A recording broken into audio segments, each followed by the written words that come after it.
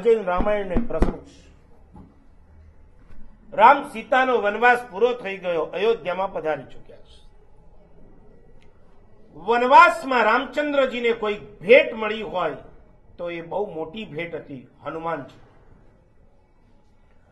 હનુમાને પણ પોતાના ઘર બાર બધું છોડી અને રામની સેવામાં જોડાઈ ગયા.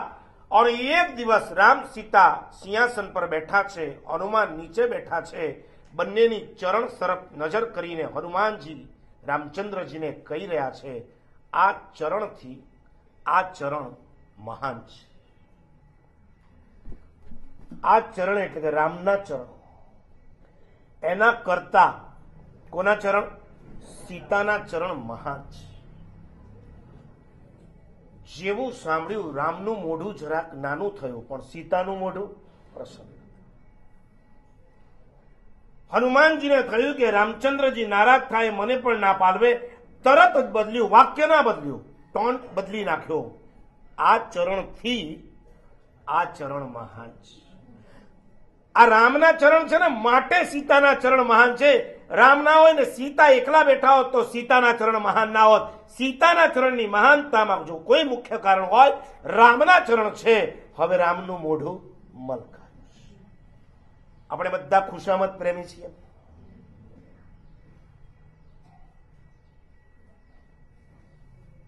હનુમાનજીને થયું કે સીતાજી થોડા નારાજ થયા લાગે છે, એવું કામ કર્યું કે બે પ્રસન્ન થઈ જાય અને ફરી પાછું વાક્ય એનું એ જ રાખ્યું, પાછો ટોન બદલી નાખ્યો. પહેલા શું કીધું? આ ચરણથી આ ચરણ મહાન છે. એટલે કે રામના ચરણ કરતા સીતાના. પછી શું કીધું? આ ચરણથી એટલે કે આ રામના ચરણને લીધે સીતાના ચરણ મહાન છે. અને ત્રીજી વારમાં બેયને ખુશ કરતા કહી દીધું આચરણથી આચરણ મહાન રામચંદ્રજી, આપ મર્યાદા પુરુષોત્તમ છો. સીતાજી, આપ મહાસતી છો. આ બંનેના કેરેક્ટર એટલા ઊંચા છે, બેયનું આચરણ એટલું ઊંચું છે. માટે મારે મન બેયના ચરણ મહાન દ્વાદશાંગીમાં પહેલું અંગ કયું મૂક્યું છે? આચાર.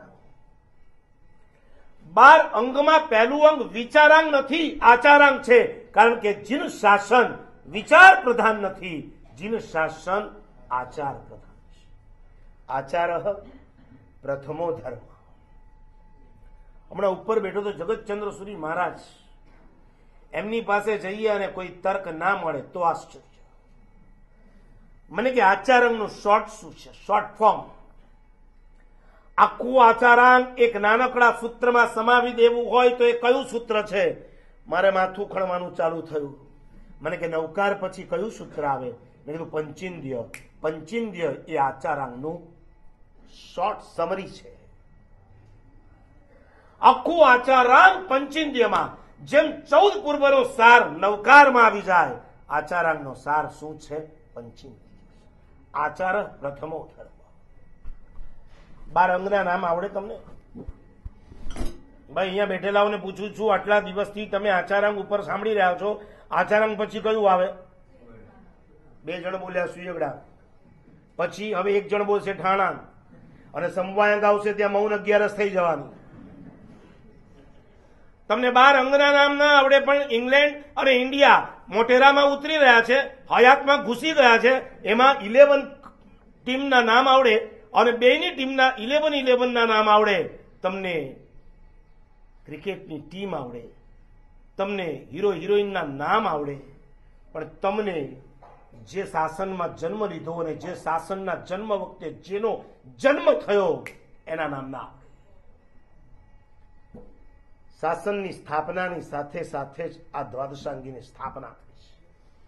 અને એક વાત બરાબર યાદ રાખો, દ્વાદશાંગીના બીજા અંગોની ખબર નથી, પણ હર શાહ હર વાહ હર હંમેશ તમામ તીર્થંકરો દ્વાદશાંગીની જ્યારે ત્રિપદી આપશે અને ગણધર ભગવંતો જ્યારે રચના કરશે, ત્યારે બાર અંગમાં પહેલું અંગ હંમેશા માટે કયું હશે?